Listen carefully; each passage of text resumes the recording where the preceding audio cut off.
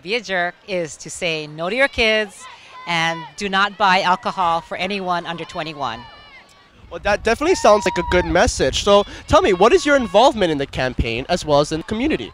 So I am the, for the County of Maui, this is um, their project with the Department of Housing and Human Concern, and I am their community organizer to help move this campaign further.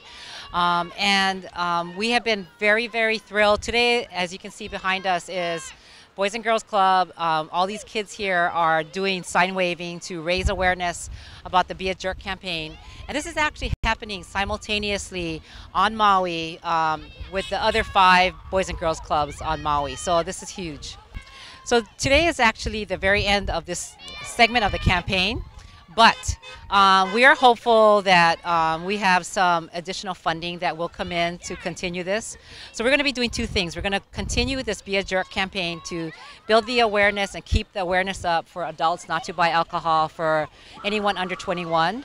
And then the other thing we're going to do is um, support a county proposal um, in this next phase to ask um, adults not to drink around youth centers and it will be for county parks. Just stay away from the youth centers, and we're going to do it through an uh, ordinance proposal, ordinance change. So this is part of the County of Maui, so you can call the Department of Housing and Human Concern. The um, person in charge of this program and who created this for Maui County is Jan Shishido. She's a deputy director for that department, and you can call the county and get in touch with her. We'd love to have support. Okay, and I want to thank you very much for your time, and I want to thank you to our viewers for watching. Once again, my name is Joseph Valentine, and I'm here with Yukilei Sugimura, and like they say in Hawaii, aloha. Aloha.